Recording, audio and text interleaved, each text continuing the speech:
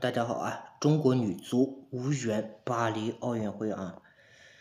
巴黎奥运会这个预选赛呢，亚洲区第二阶段最后一轮比赛啊，在厦门举行。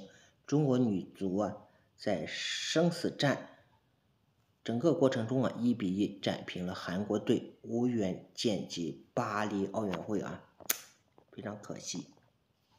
巴黎奥运会女足预选赛亚洲区第二阶段 B 组第三轮呀，中国女足对阵韩国女足。这个比赛呢，在厦门体育场进行啊。上半场整个双方零比零战平。嗯，下半场呢，就是说，唉，无缘晋级这个奥运赛最终的这么一个比赛啊，非常可惜。谢大家收看啊，一分钟了啊，拜拜。